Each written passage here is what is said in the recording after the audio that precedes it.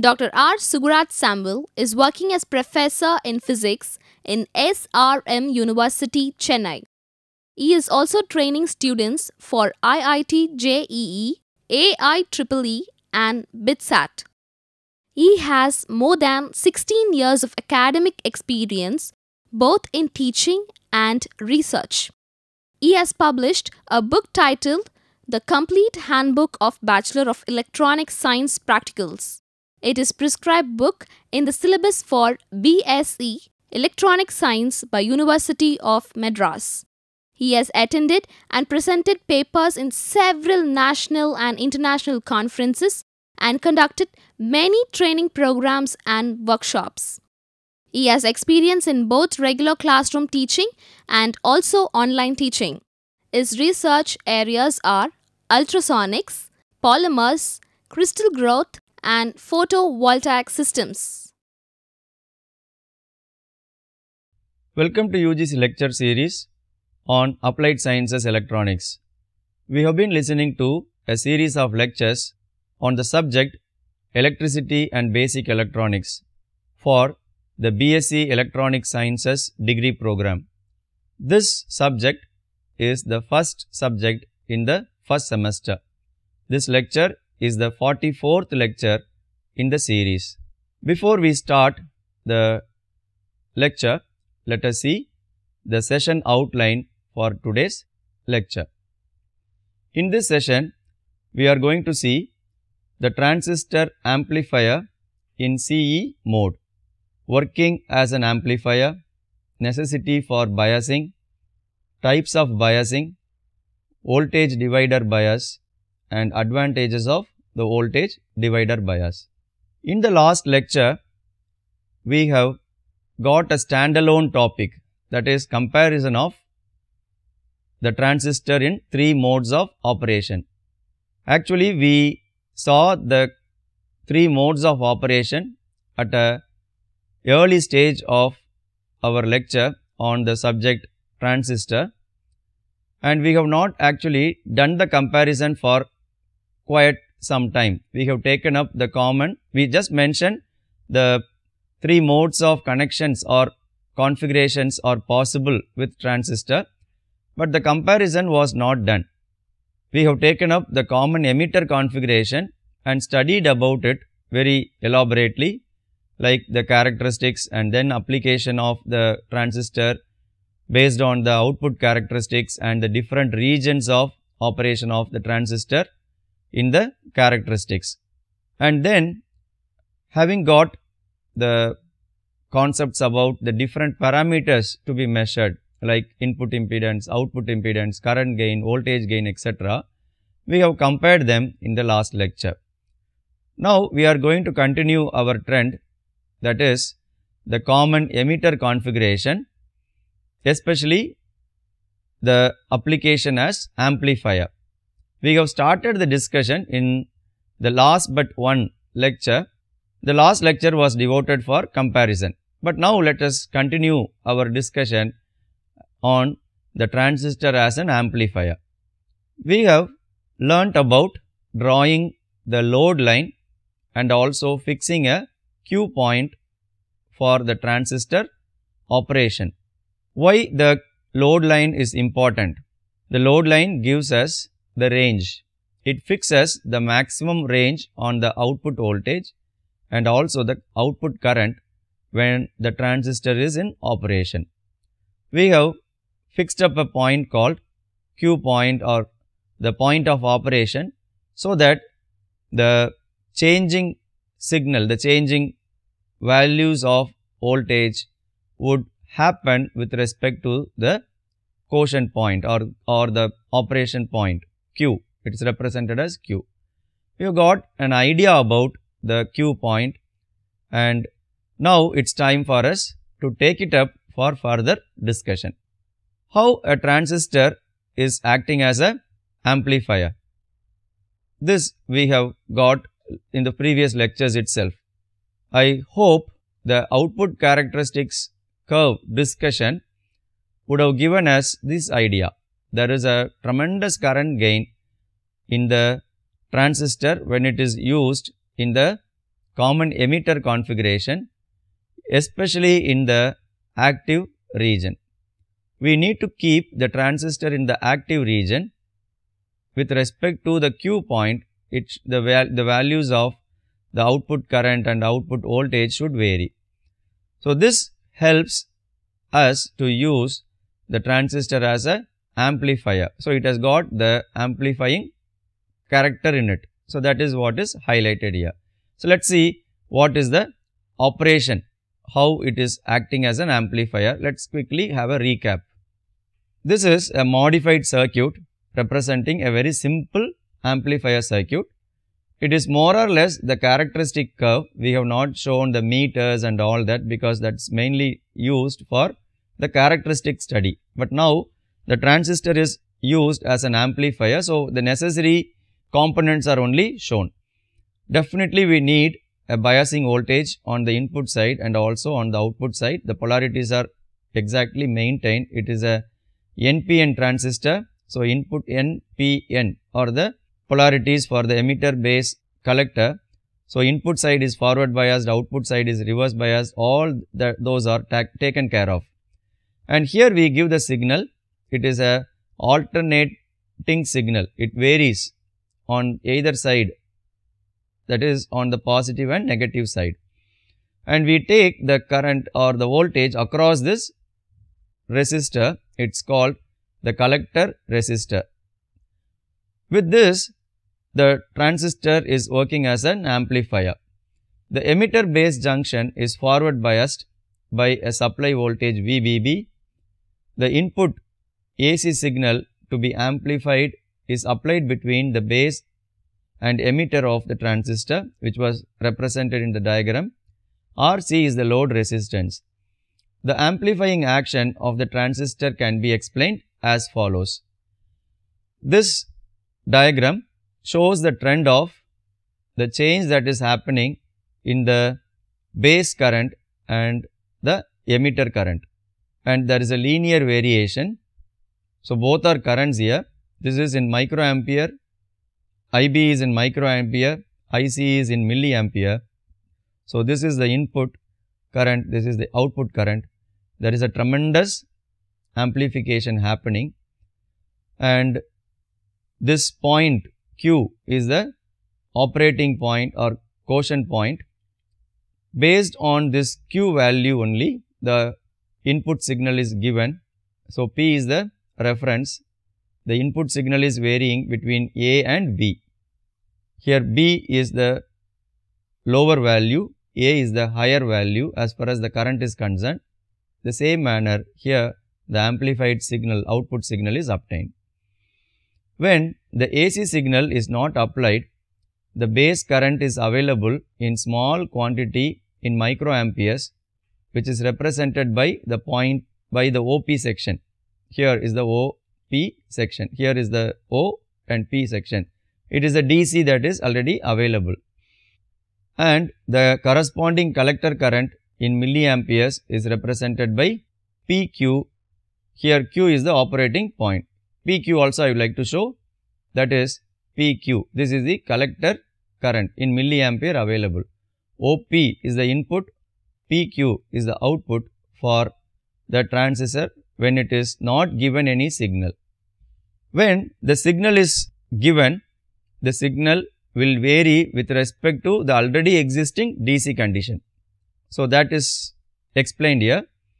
When the AC signal voltage is applied, the potential difference between the base and emitter changes continuously Thus, a variation in the base current in microamperes produces a corresponding variation in the collector current in milliamperes. This produces a corresponding potential difference across RC.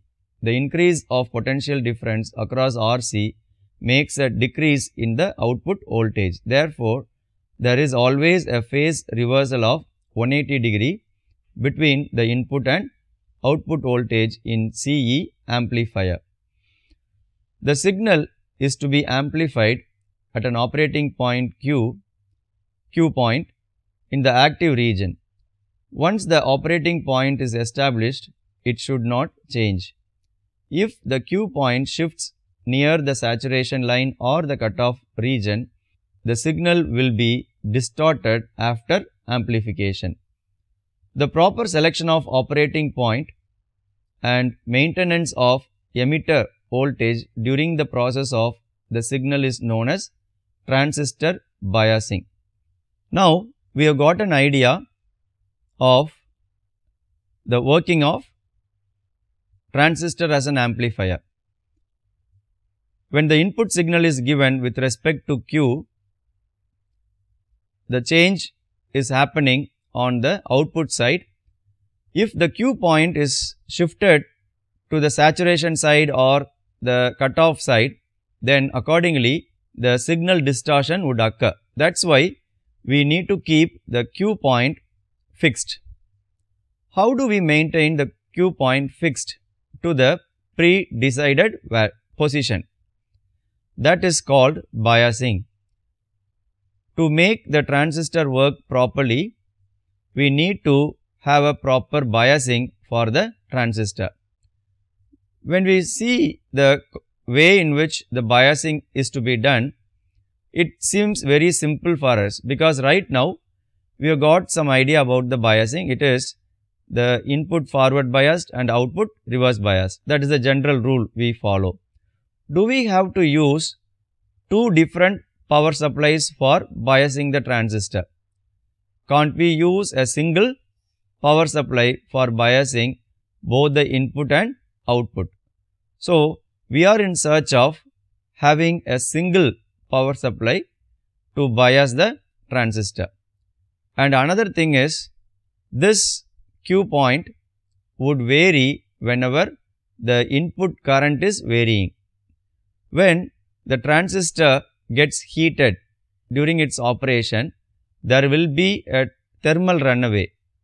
The value of beta, especially the current gain, is very much dependent on the temperature of the transistor. So, we need to stabilize the Q point against all these changing conditions. So, we have to have a proper biasing. Let us see what is transistor biasing. Why it is very important as far as the operation of a transistor as far as an amplifier is concerned. Let us see what is the transistor biasing. The proper selection of operating point and maintenance of the emitter voltage during the passage of the signal is known as the transistor biasing. The most commonly used biasing are base bias, base bias with emitter feedback, base bias with collector feedback and voltage divider bias. As I have already mentioned, the biasing here is something special. It is not the regular biasing that we have in mind. Here, we are trying to keep the Q point fixed in the biasing conditions. So, different possibilities are there for it. Right now, we have seen the four types of commonly used biasing methods. Of, of all this, which is the suitable, most suitable method for maintaining the Q point fixed? As I said, the Q point is very much temperature sensitive because it depends very much on the collect, collector amplification, common emitter amplification, beta value.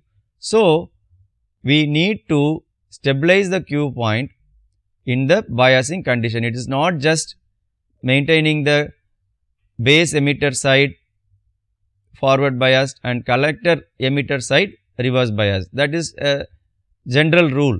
But here the biasing should serve one more purpose that is keeping the Q point fixed. How it is done?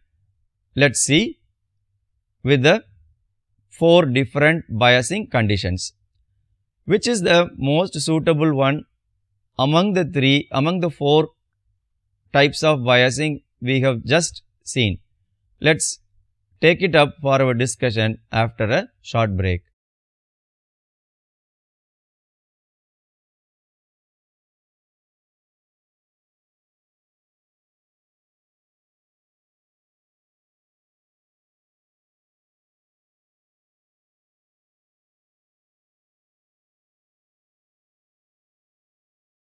Welcome back. We have discussed about the several biasing conditions available for biasing the transistor as well as maintaining the Q point fixed. Let us see why the Q point is to be fixed and what will happen if it is not fixed constant during the operation of the transistor as an amplifier. Biasing of CE amplifier. The principle involved in all these types is to obtain the required base current corresponding to the operating point under zero signal conditions. In all the bias circuits except the voltage divider bias, the collector current depends on the current gain beta. But beta of the transistor is very sensitive to temperature changes. For this reason, it is desirable to have a bias circuit which is independent of beta. This requirement is met by the voltage divider bias circuit.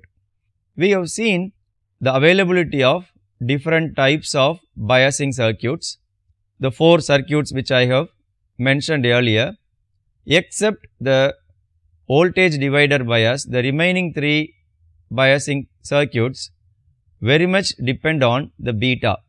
Here beta is the current gain and of course the current gain is dependent on temperature. So, fixing the Q point against the temperature is very difficult, but it is achieved only in the voltage divider bias. The remaining bias circuits depend on beta very much, so it is very much dependent on temperature. Now, let we are not going to discuss the other three types of biasing circuits with expressions and all that just we have mentioned that as a fact here. So, we are not going to take it up for our discussion it is beyond the scope. So, we are going to take up the voltage divider biasing circuit. What is this circuit and how this voltage divider biasing enables the point Q or the operation point Q to be fixed against the thermal conditions. Let us see what is the voltage divider bias. Now, we are look, having a look at the voltage divider circuit. Here, the signal input is not shown because it is the biasing condition is highlighted, but we have only one power supply that is VCC. Though the power supply is physically not shown, the positive of the power supply is connected here at VCC and the negative of the power supply is connected to this common ground connection. So, across this we have only one power supply input side does not have any power supply separately for the biasing of transistor. How this one single power supply is able to forward bias the input side. When we take this loop by Kirchhoff's law, this VCC is dropped across R1 and R2. Here we have RC and RE connected to the collector and emitter respectively and the R2 is connected almost to the base. It is connected across the base emitter terminal that is R2 and additionally we have R1. Because this R1 and R2 have the voltage divided across them, this biasing is called voltage divider bias. Supply or the biasing volt supply VCC is divided across two resistors R1 and R2 and that division is happening, the voltage is divided. So, the biasing is also called by that name, it is voltage divider bias. Now, when this circuit is considered, we are able to have a clear understanding that the potential drop across R2, the resistor connected across the base and emitter junction gives the necessary forward biasing for the transistor. Let us have the circuit once again and see how the forward biasing is achieved. See here this potential drop the potential drop across R1 is of not any use. It is just used for dividing the potential, but the voltage across R2 gives the necessary forward biasing for the VBE, for the base emitter junction. So, once it is forward bias, this transistor is ready to work as an amplifier, is kept in the active region. How it is kept in the active region? We need to discuss that because in the active region only we have the Q point. So, this tells how the biasing is done with the help of a single power supply. The name of this biasing is voltage divider bias. Now, what is the advantage of this bias? How it helps in maintaining Q constant at the active region, the two at a fixed point. This is how it is. This is the most widely used method of providing bias and stabilization to a transistor. In this method, two resistors R1 and R2 are connected across the supply VCC and provide the biasing. The emitter resistance RE provides the stabilization. Here stabilization means keeping the Q point fixed. The voltage drop across R2 forward biases the base emitter junction. This causes the base current and hence the collector current to flow in zero signal conditions. The stabilization provided by RE can be explained as follows. Since beta is very sensitive to the changes in temperature, the collector current IC increases with rise in temperature. Consequently, it can be seen that IE increases. This will cause the voltage drop across the emitter resistance RE to increase. The voltage drop across R2 is the sum of the voltage across base emitter junction and voltage across RE. RE here is a resistor. As the voltage drop across R2 is independent of IC, VEB decreases. This decreases the IB and the reduced value of IB tends to bring back IC to the original value. Hence, any variation of beta will have no effect on the operating point. To understand the concept just now we have read out, let us have a look at the circuit diagram. I will quickly show how the stabilization is possible with the help of RE. See here, when there is a increase in temperature that will make the IB, here IB is not shown, but there is a IB which we have seen in the other circuits the IB will increase, so IC will also increase. When this IC increases as the IB increases, the IE will also increase. It is because of that only. So, the IE will make the potential drop across RE increase. Because there is a potential drop now across RE, which is also increasing, the VBE will again decrease because we are maintaining the supply voltage VCC constant here. So, once the R2, the voltage across R2 is maintained constant, between these two the voltage should get adjusted. If VB increases, that will in turn increase RE. So, VB has to decrease. Once VB decreases, the IB decreases and the IC is decreased further. So, this is how a tight stabilization is achieved. When one quantity is dependent on temperature and it tends to increase IC, the IC is brought low.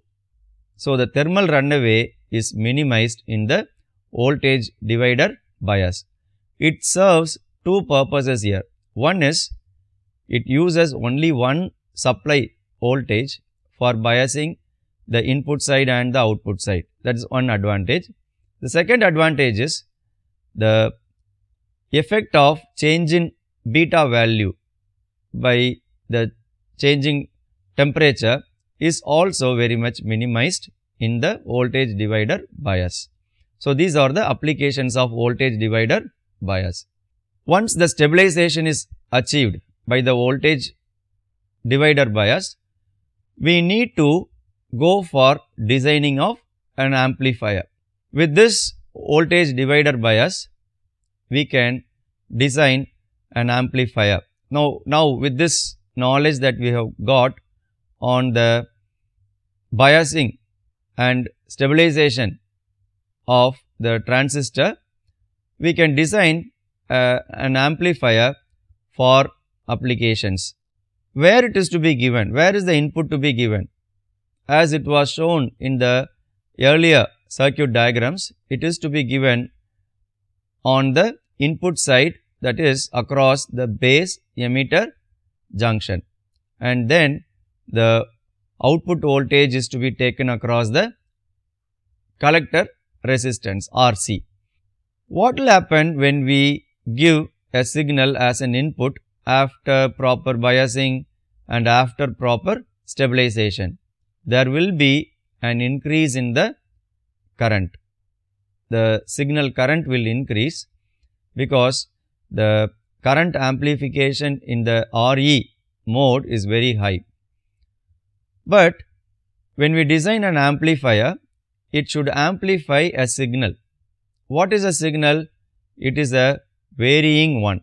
The voltage will be varying between a positive value and a negative value. It will be oscillating. When such an oscillating voltage is applied as an input, will it not change the biasing of a transistor? Will it change the biasing conditions or not? But that is what we have learned now. The biasing condition should not get affected. The Q value should be fixed. What fixes the Q value? The additional resistor that we connect across the emitter and the ground connection the, the on the emitter side that RE stabilizes the circuit. Once it is done, we can give the input signal very well within the permissible range. It will not drive the Q point from the fixed position. It will not take it to the saturation side or cutoff side. It will be maintained in the active region. And second thing is, when we give a varying signal, that is the frequency of different values, what about the response of the amplifier circuit? So, we need to study the frequency response of the amplifier for various frequency values, namely from the low frequency to high frequency. So, we will study about the frequency response of the transistor in the upcoming lectures. So, with the concept of voltage divider bias and stabilization of the Q point, I would like to wind up the lecture at this stage. Before we close this session, let us see the summary of today's lecture. In this session, we have seen the transistor amplifier in CE mode with the working of transistor as amplifier, the necessity for biasing, different types of biasing, the voltage divider bias and the advantage of voltage divider bias. Before we conclude this session, let us test our understanding by answering these few questions. Explain the working of transistor as an amplifier in CE mode. What is biasing of transistor amplifier? Mention different types of biasing. What is voltage divider biasing? And explain why it is the most preferred biasing over the other types of biasing. With this, I would like to conclude today's lecture and we will see the frequency response of the transistor amplifier in the next lecture. Thank you for listening.